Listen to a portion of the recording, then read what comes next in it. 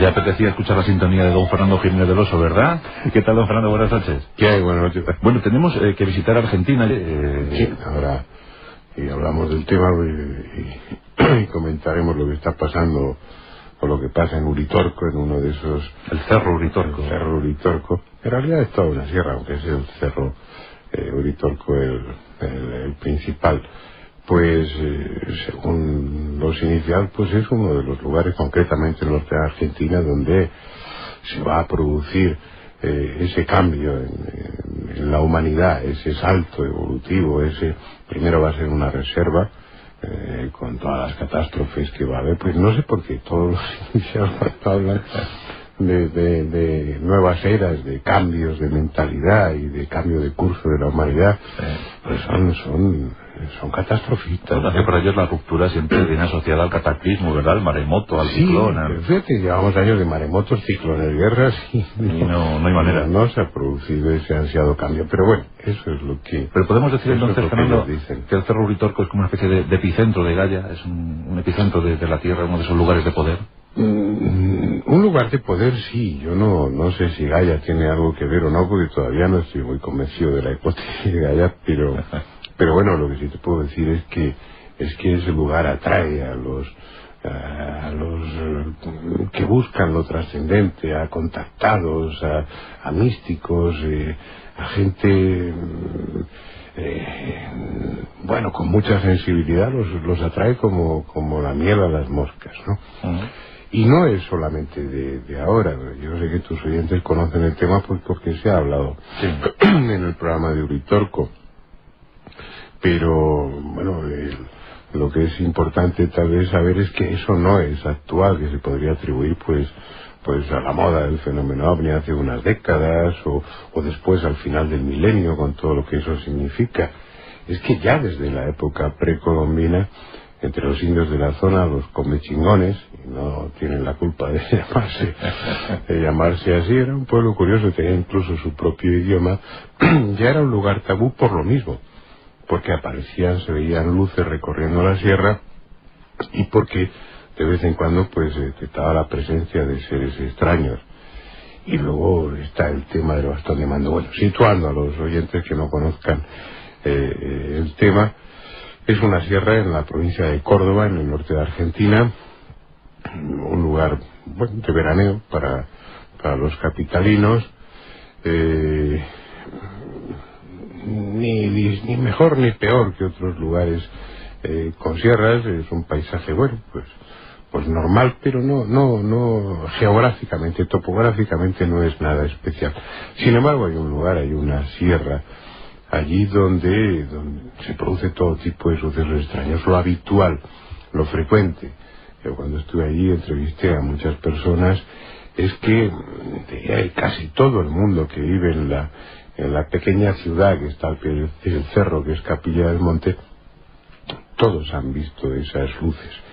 Luces que salen de, uno de los cerros, del cerro Uritorco, y van a otros cerros, o de otros cerros van al, al Uritorco, de diferentes colores que parecen inmateriales, como si fueran, no sé, esferas de energía luminosas, que luego se funden, penetran en la, en la sierra como, como si como si la roca no fuera un obstáculo para ellos, ¿no? ¿Son luces inteligentes, Fernando?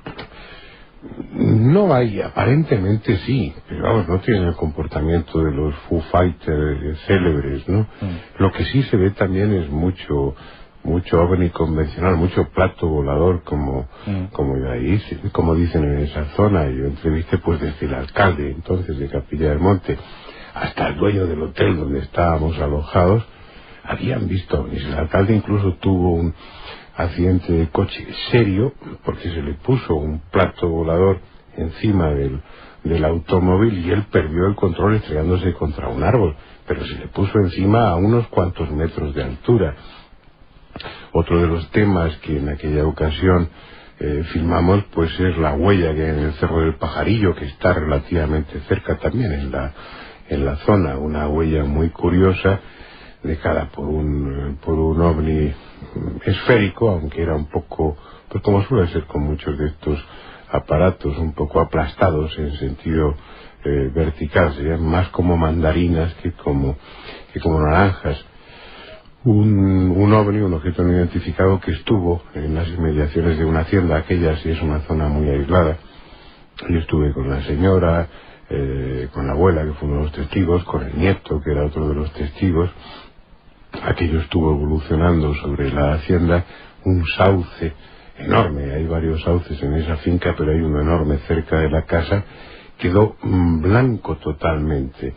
Se llevaron muestras cuando se hizo la investigación y no le quedaba una gota de savia, eso había sido pues en los minutos que estuvo evolucionando el, el aparato. Luego ese aparato siguió hacia la, hacia, la sierra, eh, según otros muchos testigos, y en un cerro dejó una, huella.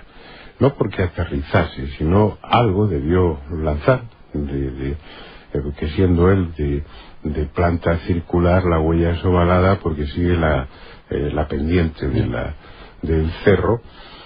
Eh, y bueno, pues, pues, esa huella volvió locos y sigue volviendo locos a los investigadores. Los ufólogos siempre afirman que en Uritorco hay una base, una base extraterrestre, una base ovni tremenda, ¿no? Sí, pero fíjate que habían pasado, cuando yo estuve ahí, habían pasado ya tres, cuatro años desde que, desde que el ovni había estado, había dejado esa huella, era perfectamente visible. Mm. Eh, cuando se investigó, todo lo que había, eh, todo el pasto estaba chamuscado de arriba abajo, la fuente de calor procedía de arriba, los pequeños animalillos, algunas ranas, algún, algunas lagartijas que había dentro de esa, de esa huella estaban deshidratados, secos, y, bueno, pues eh, la huella era perfectamente visible porque era, estaba chamuscada y el resto verde. Al año siguiente hubo un incendio, por causas naturales y entonces ardió toda la, todo el pasto de esa zona, excepto el pasto de la huella, con lo cual se produjo una imagen en negativo. Todo el cerro y las inmediaciones chamuscado y de color oscuro y la huella eh, perfectamente verde. Eh, es algo que no se entiende en absoluto. Y fíjate que estando verde la huella del interior de la, de la huella, el, el ganado se negaba a pastar, se negaba a comer, bordeaban la huella y se negaban a comer del interior. Cuando yo estuve, el jamelgo que yo llevaba, no sé si porque el pobre ya tenía una demencia senil por los años, ¿no? o estaba tan mal alimentado, estaba escuálido, eh, sí comió del interior de la, de la lleva. Pero seguían produciéndose perturbaciones electromagnéticas y habían transcurrido cuatro años. Si yo estaba dentro de la huella y el técnico de sonido fuera, llevaba un micrófono inalámbrico, había interferencias. Cambiábamos de lugar y también las había, pero si los dos estábamos dentro o fuera, juntos no había interferencia. Todavía queda algo allí.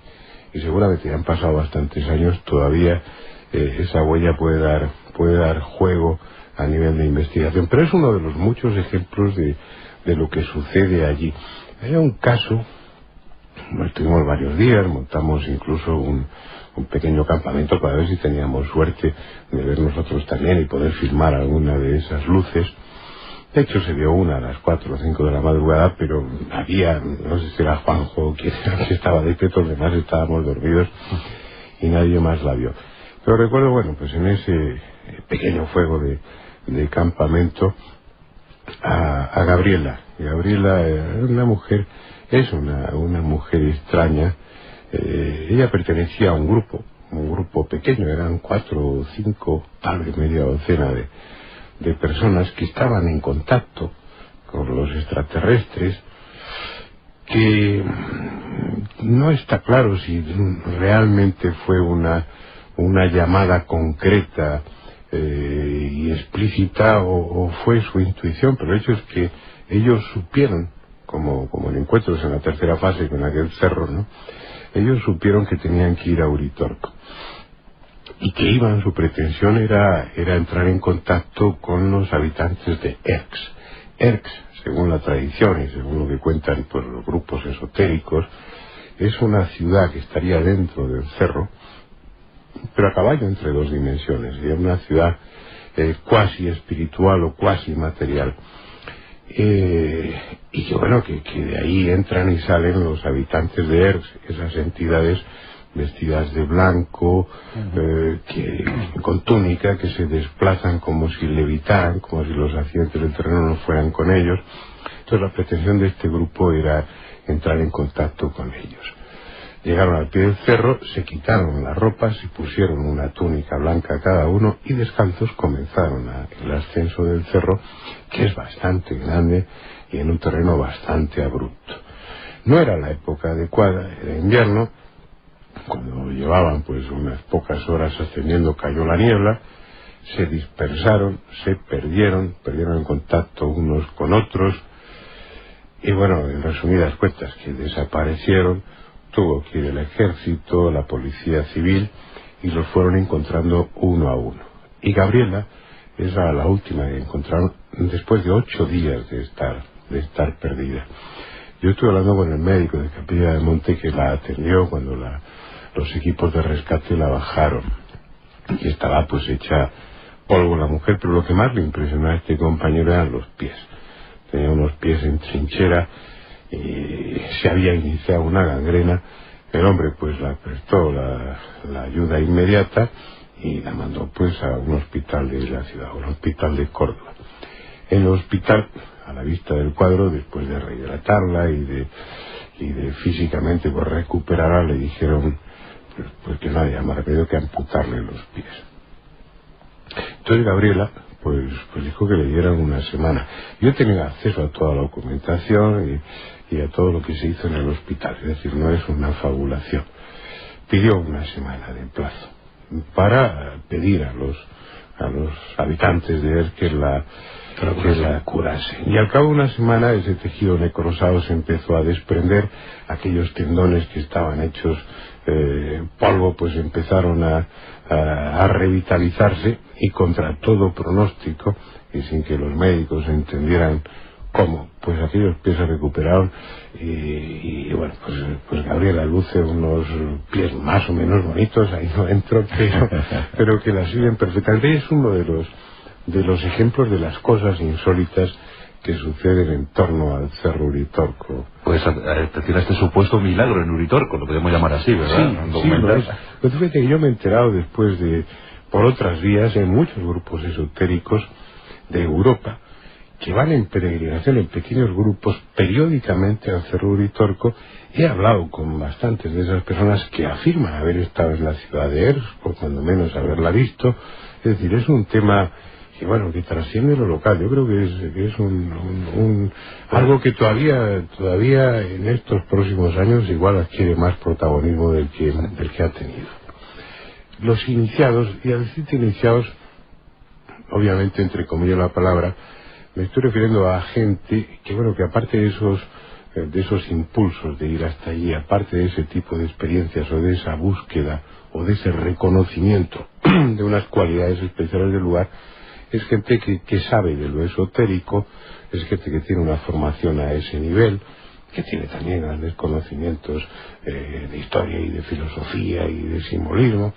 Y me estoy refiriendo ahora, en este caso concreto, a un, a un profesor ya desaparecido, eh, profesor de universidad, lo fue de antropología y de, y de sociología, pues en la Universidad de Buenos Aires, en la de La Plata, en la de Córdoba, un viejo masón de estos eh, clásicos con, con, bueno pues pues no te voy a decir que filo nazi pero desde luego filo germánico es decir alguien muy enamorado y muy, muy interesado en la mitología del eh, germana y, de, y del norte de Europa. Y un hombre con grandes conocimientos que nadie le puede discutir no bueno pues uno puede discutir sus teorías sus hipótesis pero pero no sus conocimientos entonces, eh, este fue el hombre que nos puso en contacto con el bastón de mando. Porque de los pocos restos de ese pasado en torno a Uritorco había uno especialmente importante, que era el Shimiwenki, el, un bastón de mando llamado así, que, bueno, ahí Terrera mezclaba muchas cosas. Que, había tradiciones en el Himalaya, tradiciones en diferentes lugares iniciáticos del mundo donde se hacía referencia, donde se hablaba del bastón de mando que, que, había en el continente americano. Un bastón de mando, un cetro, que estaría, su destino sería ser empuñado por aquel que iba a cambiar el destino de la humanidad. Entonces, también está ahí, para Terrera no había ninguna duda, para mí simplemente es un rumor más. Se dice que también Hitler mandó una expedición a, esa zona para localizar el, el bastón de mando y hacerse con él. El que de verdad lo consiguió fue un tal Orfelio Ulises, que, bueno, este es un, también era un masón, y era un hombre muy inquieto, pasó muchos años en el Himalaya y encontró, él, supo exactamente dónde tenía que cavar en el Cerro Uritorco para encontrar ese bastón de mando legendario, del que había referencias pues, que recogieron los cronistas a través de los, de los indios, aunque obviamente no el lugar donde estaba. Encontró ese bastón de mando, ese Simiwinki, y eso fue en el año 34 y luego después de tenerlo se lo pasó a Terrera. Y bueno, pues estuvimos obviamente en casa de, Guillermo Alfredo Terrera, de este hombre desaparecido hace unos pocos años, viendo el, bastón de mando de los comechingones que supuestamente empuñará ese nuevo ese nuevo líder del mundo, ese, ese propiciador o, o, cabecilla del cambio que va a experimentar la, la humanidad. Y es una pieza asombrosa, es, un, es una pieza de basalto, mide un metro diez de longitud, pero en su parte más gruesa el, el diámetro es de cuatro centímetros. Es decir, es algo tan estilizado de, de, una piedra de origen volcánico muy densa, perfectamente pulido y a uno le cuesta entender cómo eh, gente de la A de piedra, es decir, no había metal entonces, en la antigüedad que se le, que se le dio el bastón de mando según el Instituto de, Arqueología de la Universidad de Córdoba fue de 8.000 años. 8.000 años. Es decir, no estamos hablando de una pieza de ayer.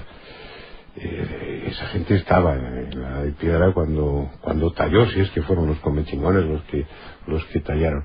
Uno no acaba de entender cómo se puede conseguir una pieza, y imaginarse un metro diez y en su parte más ancha, más gruesa, cuatro centímetros de diámetro.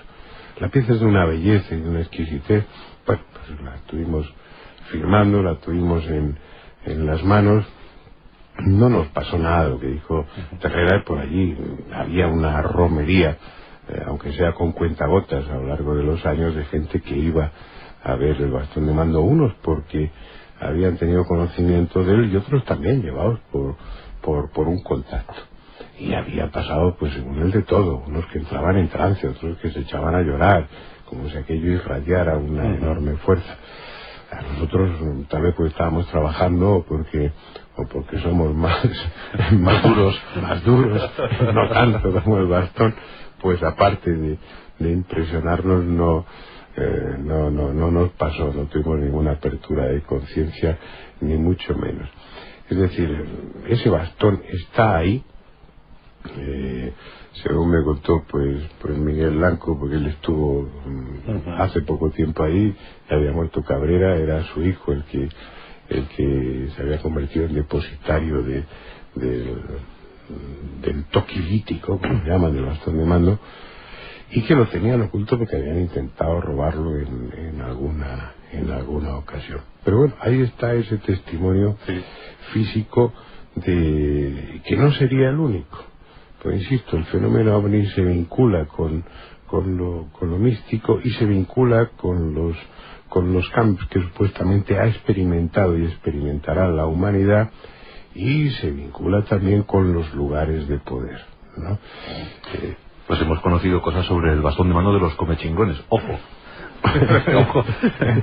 a bueno de Fernando no le pasó nada cuando lo tuvo en, en sus manos. No, no. ¿Tienes Me habría gustado, no. Yo estoy deseando experimentar ese tipo de cosas, pues en contacto con esos objetos, pero no, aprecio su belleza, a veces me emociona, mm. pues su antigüedad, el trabajo, el esfuerzo, la cultura, la historia y los sentimientos que impregnan el objeto, pero pero chicos, no hay manera.